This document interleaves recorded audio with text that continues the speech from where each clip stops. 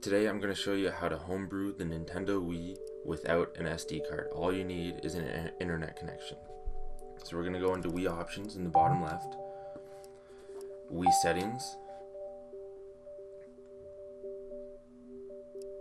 and the first thing you're going to look for is the version of your Wii. This needs to be 4.3.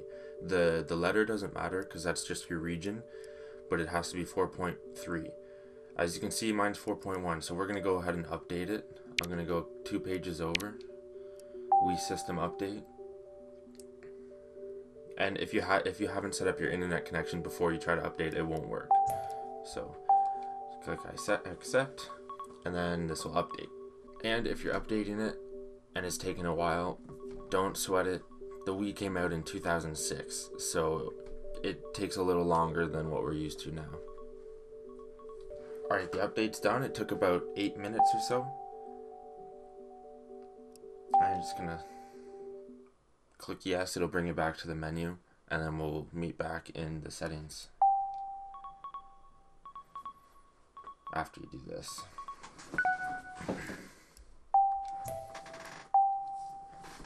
Okay, we're back in the Wii settings, and as you can see, we're at 4.3, so we're ready to go.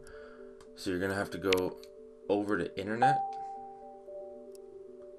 connection settings and then pick the internet connection you're using mine's wired one. And you want to change settings. Go one over two over three over to auto obtain DNS from here you're going to click no. Go to advanced settings and then punch in these numbers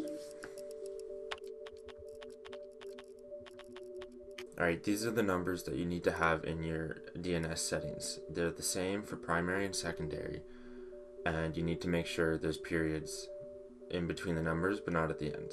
So after you have these inputted, click confirm, save, and then it'll test the connection again. This might take a minute. Alright, it was successful when it goes to this, make sure you press no. Because if you try to update it while you have those DNS settings changed, it it won't let you do the exploit. So after that, you're gonna go back one, back two, all the way to this page, the internet page, where you can click on user agreements.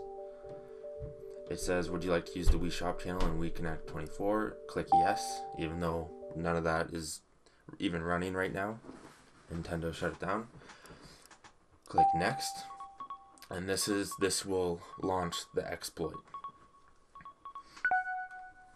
So once you get to this screen, make sure you do not press anything. Don't click I, I accept or do not accept. It'll take anywhere from one to two minutes. And I've never had my Wii remote stop while doing this, but it may happen and just be cautious of that and then restart and try again. But otherwise, you can let it sit and wait and it'll move on.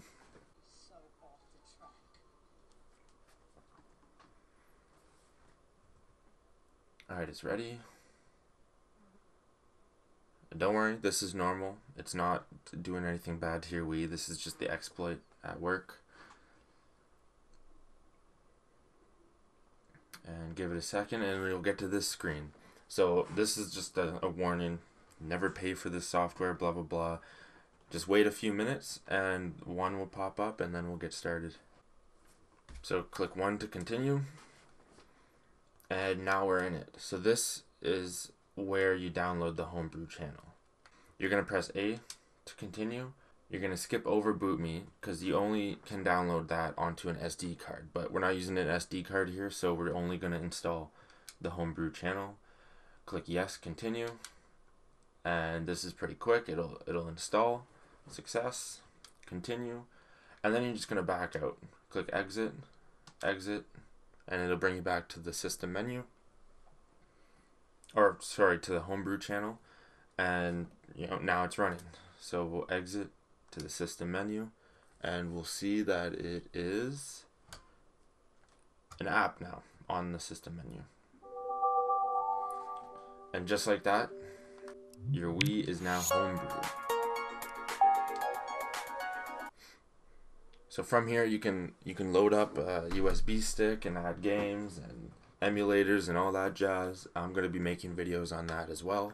So if you'd like to watch those to see what kind of stuff you can throw on your Wii, make sure you subscribe and stay notified.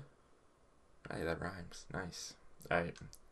Anyway, that's how you homebrew your Wii. Super quick, doesn't take long at all. All you need is an internet connection, no SD card needed. And thanks for watching. I hope you enjoy your homebrew Wii.